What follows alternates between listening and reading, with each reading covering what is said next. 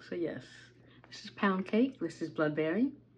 New black owned red lipstick brand that's now at Ulta.